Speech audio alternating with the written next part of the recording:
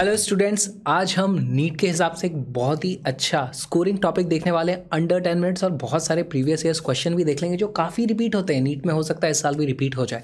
तो कॉन्सेप्ट क्या है? कॉन्सेप्ट है इलेक्ट्रिकल पोटेंशियल एनर्जी का। और इलेक्ट्रिकल पोटेंशियल एनर्जी भी बहुत तरीके के चार्जेस के कारण हो सकती है। हमारे पास वायर के कारण अलग हो सकती है। एक शीट के कारण अलग तरीके से पोटेंशियल एनर्जी पता की जा सकती है। या फिर हमें जो इस तरीके के सबसे ज़्यादा सवाल देखने को मिलते हैं, वो होता है पॉइंट चार्ज बेस्ड तो अब पॉइंट चार्ज के कारण देखो पोटेंशियल एनर्जी किसकी होगी? पहली बात तो एक पॉइंट चार्ज है और दूसरा पॉइंट चार्ज है। तो इस पॉइंट चार्ज के कारण उसकी पोटेंशियल और एनर्जी होगी इस पॉइंट चार्ज के कारण इसकी पोटेंशियल एनर्जी होगी।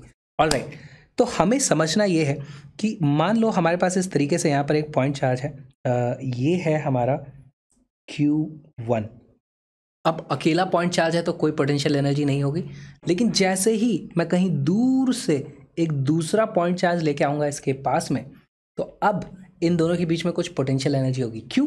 क्योंकि जब हम इसको यहाँ से लेके आ रहे थे तो पूरे समय इसके ऊपर एक रिपल्शन का फोर्स उस तरफ़ लग रहा होगा, अगर दोनों का सेम टाइप के चार्ज हैं तो।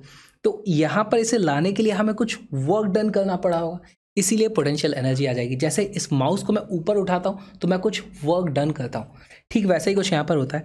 तो मान लो यहाँ पर इस जगह पे मैं दूसरा चार्ज लेकर के आ गया, वो है चार्ज हमारा क्यू टू तो हमारी जो पोटेंशियल एनर्जी हो जाती है, वो होती है k q one q two upon r ये आर स्क्वायर तो ये तो फोर्स होता है। It will be only k q one q two upon r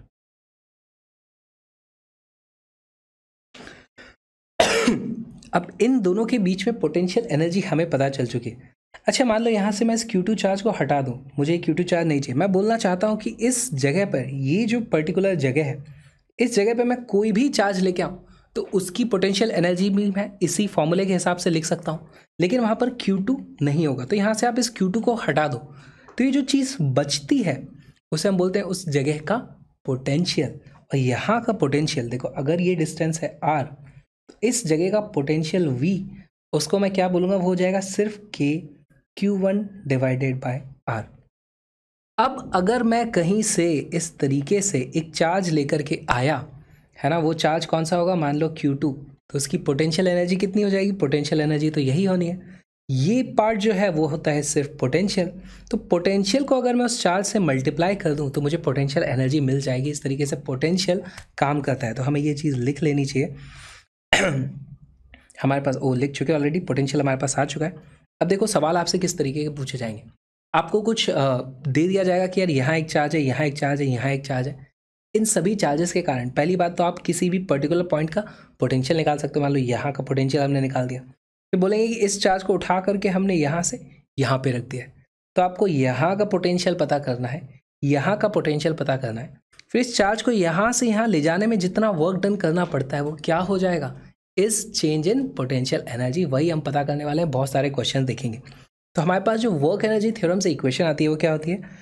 initial potential energy plus उसमें अगर मैं कुछ वर्क डन कर दूँ तो उससे मिलती है मुझे final potential energy potential energy find करने का तरीका होगा, U is equal to charge multiplied by potential point charges के कारण जो पोटेंशियल होता है, वो हम इस तरीके से निकालते हैं। और ये स्केलर क्वांटिटी होती है, इसको भी हम लिख देंगे। This is a scalar quantity all right तो अब स्टार्ट करते हैं। क्वेश्चंस देखना नीट में देखो कितने सारे क्वेश्चंस रिपीट होते हैं और क्या मज़ा आने वाला है।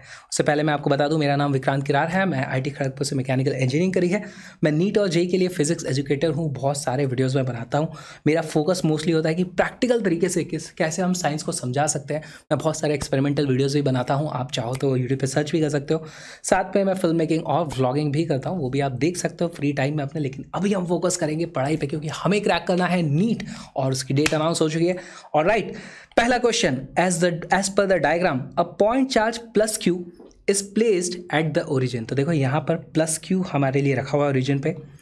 Work done in taking another point charge minus q from the point A जिसके कोऑर्डिनेट क्या है? ज़ीरो कॉमा ए तो यानी कि ये वाला डिस्टेंस कितना हो गया? ए कैसे हुआ? देखो एक्स की वैल्यू ज़ीरो है वाई की वैल्यू ए है। तो ये वाला डिस्टेंस हमारे पास हो जाता है। This distance is A to another point B जिसके कोऑर्डिनेट है, ए कॉमा ज़ीरो। तो यहाँ से यहाँ का डिस्टेंस, ये भी हमारे पास आ जाता है, A. Okay? Along the straight line path A B is. पहले तो एक बात बताओ, यहाँ पर हमारे पास जो दूसरा चार्ज है वो क्या है? वो है माइनस क्यू तो क्या ये दोनों चार्जेस अट्रैक्टिव नेचर का फोर्स एक्सपीरियंस करेंगे? जी हाँ। तो यहाँ से इसके ऊपर अट्रैक्टिव फोर्स इस तरफ़ लगेगा, इस पर भी इधर का अट्रैक्टिव फोर्स लगेगा। खैर, ये तो एकदम फिक्स्ड है, ये तो मूव कर नहीं सकता। तो ये अपने आप इधर आना चाहेगा, लेकिन ये मूव कर सकता है सिर्फ़ इस स्ट्रेट लाइन में। तो ये पहले इधर, यहाँ तक आ जाएगा। लेकिन अब अगर ये चार्ज उधर जाना चाहे तो इसके ऊपर देखो ये पीछे की तरफ़ इस तरीके से अट्रैक्टिव फोर्स लगाएगा। तो कभी हमें नेगेटिव वर्क करना पड़ेगा, कभी पॉजिटिव वर्क करना पड़ेगा, समझ नहीं आ रहा वर्क को इस तरह पे किस तरीके से कैलकुलेट करें।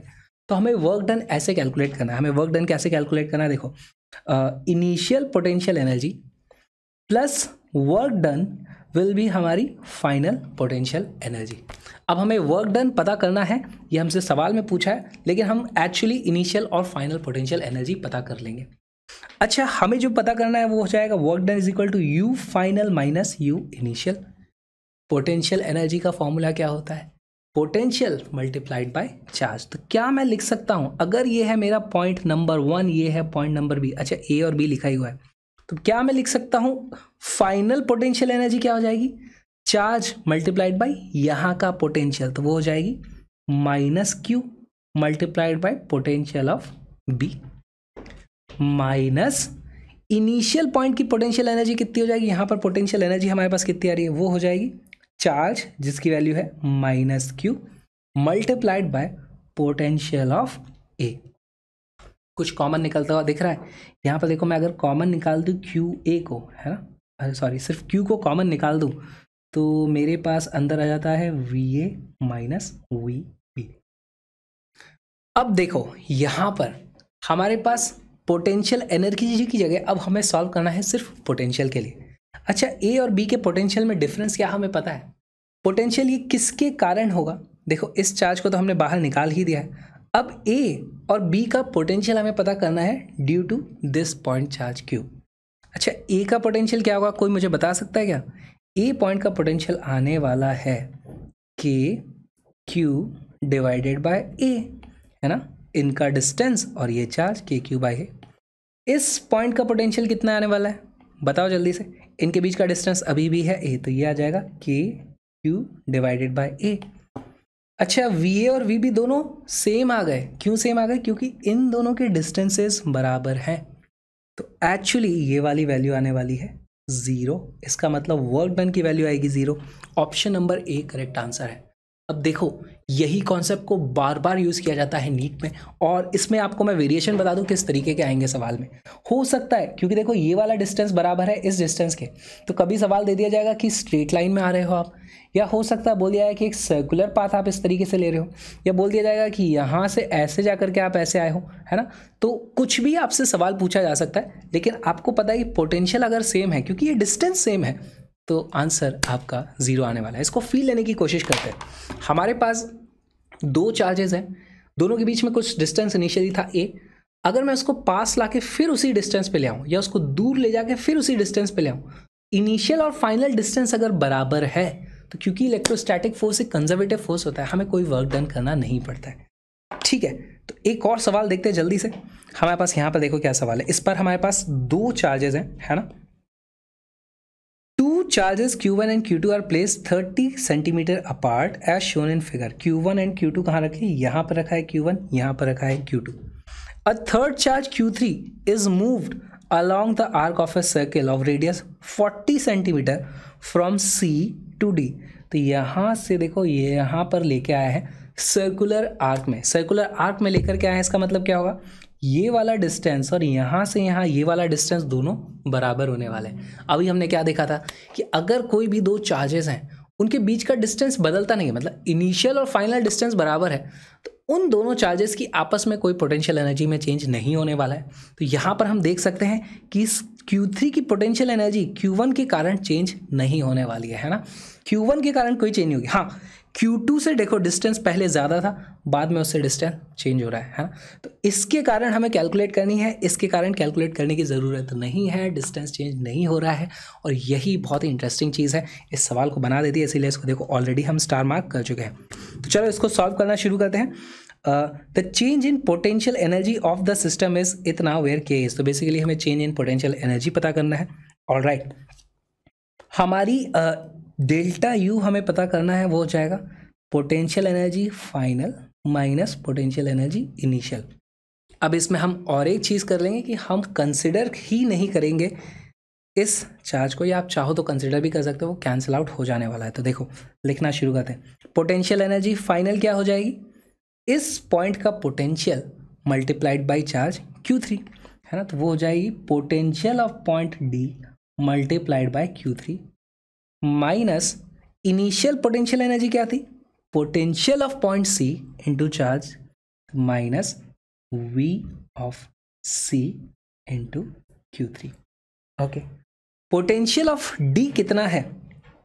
देखो, डी के कारण जो पोटेंशियल पोटेंशियल ऑफ़ डी हमारा आ जाएगा ए के कारण और बी के कारण। तो यहाँ से देखो, मैं फिर से क्यू थ्री को कॉमन निकाल दूँगा।